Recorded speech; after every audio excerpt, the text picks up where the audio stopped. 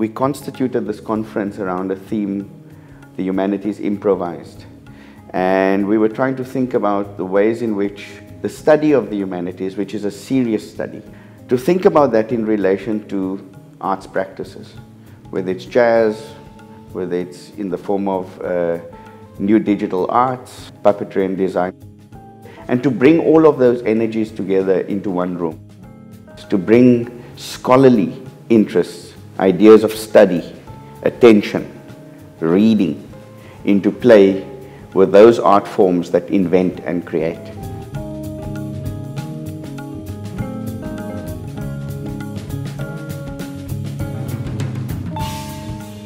There's something very special about having this community of international humanities scholars thinking with us at a moment of the emergence of the Centre for Humanities Research at UWC really coming into its own. The university has been on the periphery of the city because of the histories of apartheid and exclusion and it's the moment in which the university is really finding its place um, inside a global stage. Very exhilarating. This is the first time it was, uh, it was staged as, a, as an event in Africa. It's actually surreal uh, to be having a humanities conference at the Castle of Good Hope. It's part of the project um, which uh, is how do we use the humanities to transform these spaces. It was like regenerating.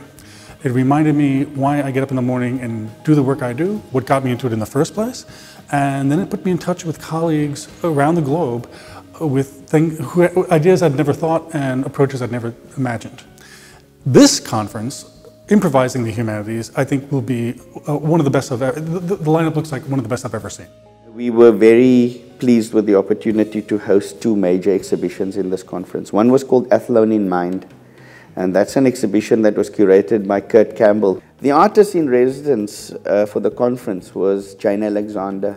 And you know, many people know her from the work she did called The Butcher Boys, uh, which is housed in our National Gallery. But what she pulled out were works that had never been seen in South Africa before. They were staged for the first time in the stables of the, of the old castle. You know, all of those were not sideshows to the conference. They were helping us to interject at various points and to think about the senses and how we awaken the senses. The CHCI conferences are always incredibly invigorating. The quality of the attendees, just getting to meet people from different humanities centers, but also from different disciplines. It's, um, it's just a, a wonderfully invigorating time. The talks today have been very compelling. Um, and I love the fact that the questions and ideas that you know, come out of the particular location of people here um, and those who work on Africa are so different from what we regularly encounter in the global north. There were four major plenaries, five nine major plenary sessions. Uh, Isaac Julien did the uh, Srinivas uh, Aravamudan lecture. Uh, Srinivas was our past president of the CHCI and passed away about a year and a bit ago. Uh, so we thought we'd host an annual lecture in his name and in his honor, and Isaac Julien, who was his friend. Well, my experience at the conference so far has been phenomenal in terms of being able to hear people like Homi Bhabha, later on to hear Gaji Spivak, and also it's been an honor to be able to be here at the conference at this pivotal time. Other speakers included Homi Bhabha uh, and Gayatri Spivak, both luminaries in the post-colonial world. And for many of us growing up in the 1990s when we were students, those were the scholars we were reading. So it was great to have them both in the room.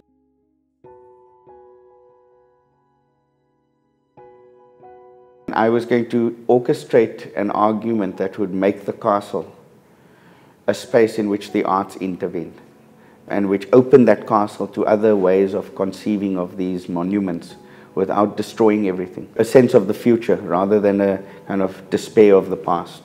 I think it's quite strange that there aren't more exhibitions that run concurrently with conferences in the conventional sense. It's almost essential um, with this level of artists who don't see their artworks as um, separate to sort of intellectual struggles, but see their artworks as very much part of a um, uh, move to create the conditions to find solutions uh, for the future with humanities right at the center.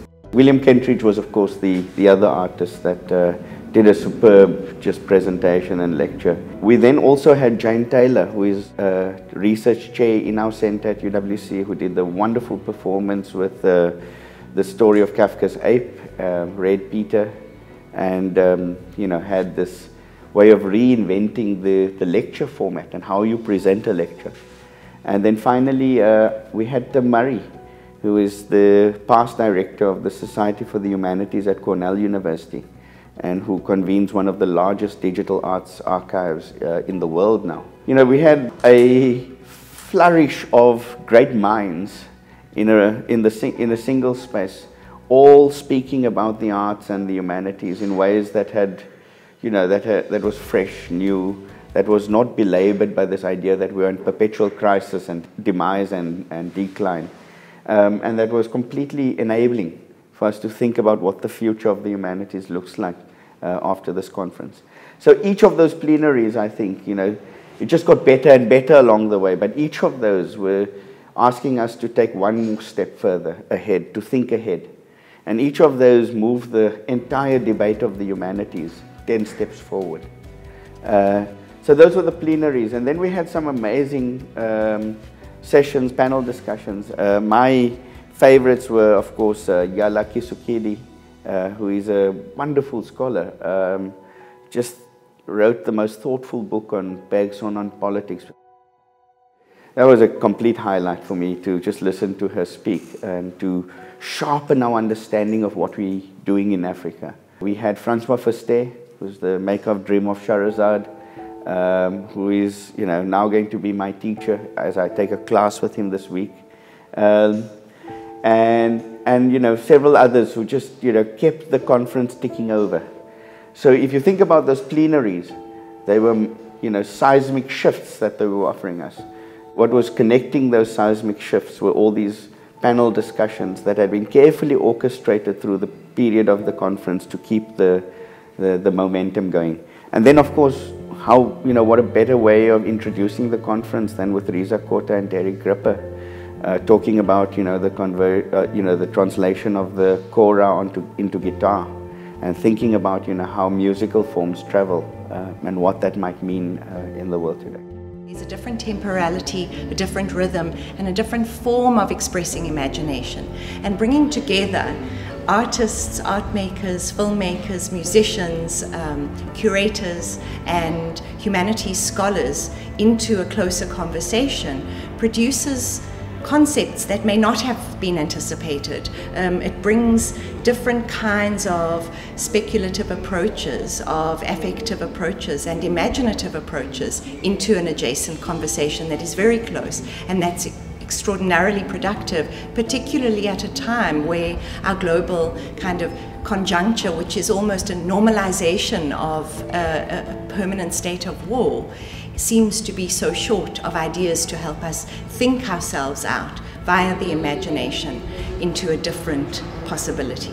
I think that the role of the humanities is to resist the instrumentalization of thinking, of turning thinking into being at the service of immediate needs, political, economic, technical, and to say, in fact, the way one's brain works and the way we understand the world doesn't fit into those reduced parameters. That there's a space of uncertainty, of doubt, of uh, irrationality through which we apprehend and make sense of the world. And if that is removed, we completely destroy a huge amount of what it is to be human. And so in the work, it's specifically making a space for this and allowing strategies to emerge to work with uncertainty, recognition, not knowing what you're doing to achieve the final work of art. You know, we had a room full of very exciting people and in the audience, you know, some of the leading scholars in the world. Um, Jim Chandler at Chicago University,